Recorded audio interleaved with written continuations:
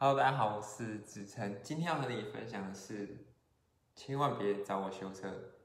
那今天是二二八纪念日，放假一天，然后我今天去运动，然后吃饭，回来刚刚上了课，在网络上上课还不错，然后想说直播跟大家聊聊刚刚学到的东西。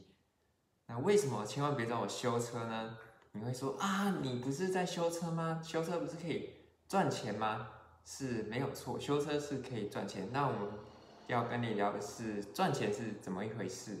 那所谓赚钱呢，就是为什么会赚到钱，就是价值的交换。我们提供别人服务或是产品，我们卖一个东西，我们解决别人的问题，所以呃，对方客户愿意给我们钱。做交换，那比如说我修车，我可能帮他补了轮胎，所以他给我一百块、两百块做交换，所以我补轮胎修车赚到了钱。那为什么千万别找我修车呢？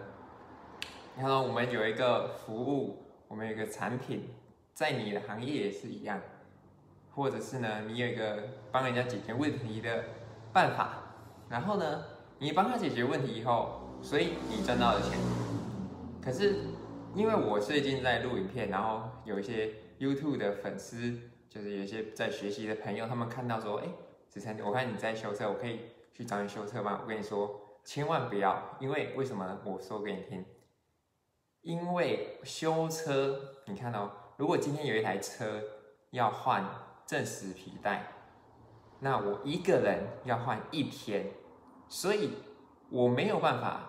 一次换这么多，来了第二台车，我就 GG 了，我就换不完了。那这个问题卡在哪里？就是修车没有办法规模化。规模化什么意思？我今天不是说你来，然后东西拿一拿，给钱就走了。你来，我是要帮你修一天。我一个人泡在那里，泡在那里车，花时间在那里车，花力量在那里车上，要一天的时间，所以我没有办法去。大量的帮你们修车，所以说，呃，有些网友呢，确实千万不要来找我修车。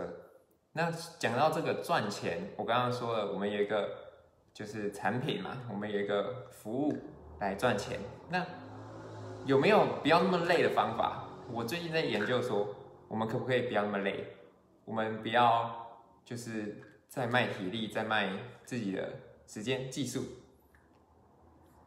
为什么不是说累，是没有办法大量，你知道吗？你看到我今天卖了修车的服务，然后我去行销，就是我去找客户，然后去可能打广告，可能在路边立一个招牌，然后还有我爸的朋友，我爸帮我累积了很多的客户，所以呢，这些人知道我有修车的服务，然后被我的招牌，被我的朋友所吸引来修车。然后我赚到了钱，这样子，那这边都没有问题。我一个月可以赚到呃三万到五万的收入是绝对没有问题的。可是问题来了，我们怎么去赚更多钱？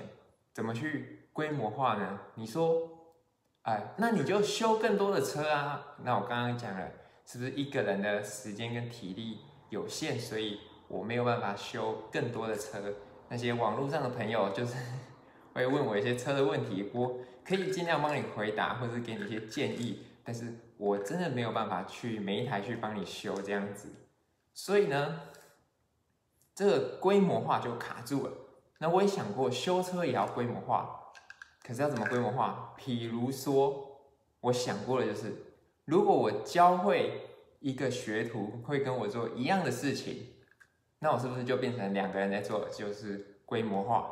可是说实在的，修车你从一个不会的人要把它教会，像我自己学了十年，我都不敢讲说我很会修，我都说我还在学。因为为什么？因为它太复杂，所以很难规模化。我不可能说啊，我今天要规模化，我请了十个学徒，全部花十年的时间把它教会。教会以后呢，然后我要。呃，租了十间修车厂，给他们一人一间当店长嘛。呃，这个时间跟这个经费是非常难达成的。就是有可能，这绝对有可能，可是它很难达成这个目标，所以修车很难规模化。你看大多数的呃民间修理厂是不是都一个老板一个老板娘，顶多再请一个学徒，三个四个五个很多了，为什么？因为真的会的师傅，你薪水不给他高一点，他就自己出去对面开一家，然后真的愿意来学的，他真的能够撑那么久吗？这个修车很累、很脏、很辛苦，他真的愿意说，哎，我做到十年、五年，然后真的学会，然后成为师傅，然后还继续给你请吗？所以这个就是我们这个行业，它很难被取代。就是不太容易失业的原因，不好培养，然后也不太多人愿意做。可是呢，这个行业因为不容易被取代，所以你很难规模化它，就是你很难复制一个跟你一样的人做一样的事情，所以变成说我们很难复制，所以很难退休。你你懂我意思吗？我怎么解释呢？就是，反正你就是。卖你自己的时间跟技术，一直做一直做啦。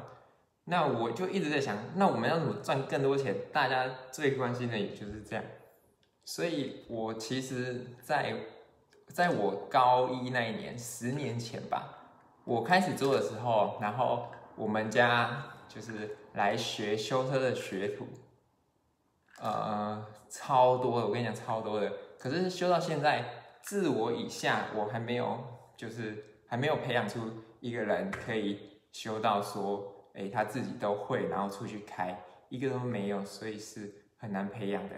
那我们最关心的是，我们究竟怎么规模化？首先，第一个是不是刚刚讲说，我们有一个服务？那我的服务是修车，可是修车很难学，那我们有没有别的服务？比如说，你自己研发产品，你自己研发很好吃的。珍珠奶茶或是鸡排，可是嗯，也也需要一笔经费去研发。你可能去代理很好的产品，然后自己进了一货柜的货来卖，这样子，这样也是可以。可是很麻烦，那又又又牵扯回最开始的问题，就是很难规模化。所以呢，我们选择了，就是我在网络上认识我的老师，然后他教我说，其实我们不用那么麻烦。我们只要去代理就可以了。代理就是我们代理好的产品，代理有竞争力的产品。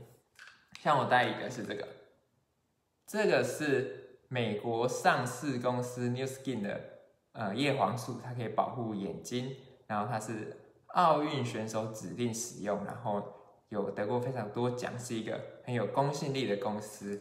那我们代理这样的产品是不是很省力？你看，我不用物流，我不用研发产品，我不用申请什么呃检验，我也不用去保险，我只要代理，超轻松就代理了。那我代理以后，是不是就解决说呃我的服务的问题？再来是行销，就是我要怎么把这个产品卖出去。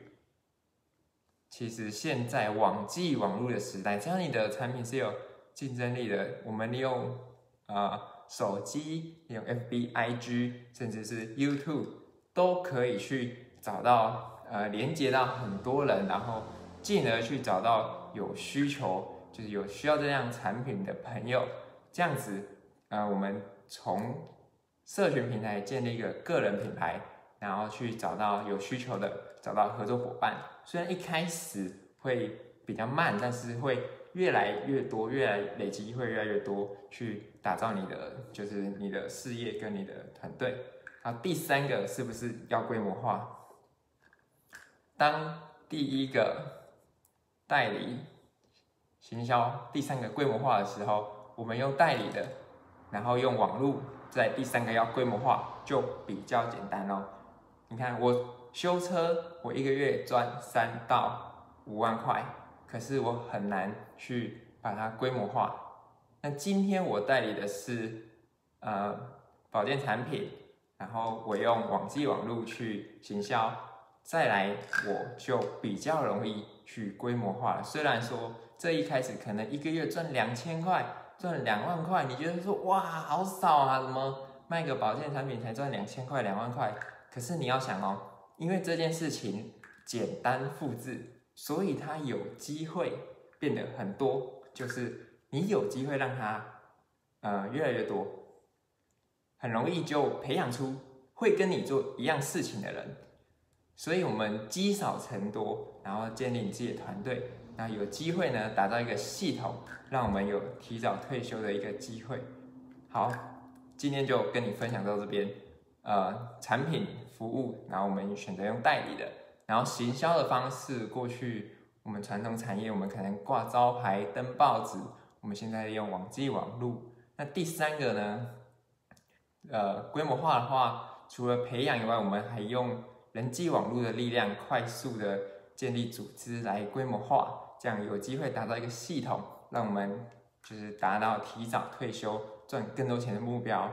那如果你有兴趣的话，我这边有一台免费的一个小时半的免费的，就是讲产品行销规模化的这个课程，那你可以私信给我，呃，你一定找得到我，就是不管你在 FB 看直播或是。在 YouTube 看到重播，反正我有 IGFB 跟 YouTube，你一定找得到我。反正呃，看哪边有连接，这边下面下面我应该会贴下面下面连接，然后你可以找到我，然后跟我联络，说你想要了解如何赚更多钱。好，那我们下次见喽，拜拜。